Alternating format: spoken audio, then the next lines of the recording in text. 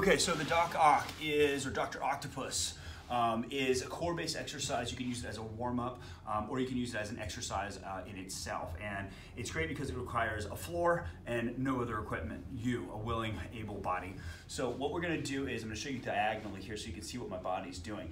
Um, you're going to have your hands posted right beneath your shoulders, not out in front, not back here in a weird position, not too wide. We're gonna add movement in just a second. So toes go underneath and the knees are right beneath your hips boom, you're gonna lift up just a little bit, like an inch. Your butt doesn't need to be super high because that would be a downward dog and that's a different exercise for another time. So I'm floating my knees and what I'm gonna do is I'm going to move one leg, usually my right leg or my opposites, outside leg, inside hand. Outside hand, inside leg.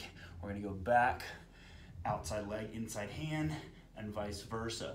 And the point is to pretend like you are balancing a glass of water, a beer, or whatever you drink on your back and maintain that stable, keep the beer in the glass, keep the water in the glass, keep the juice in the glass, whatever you've got. And that, my friends, is a Dr. Octopus.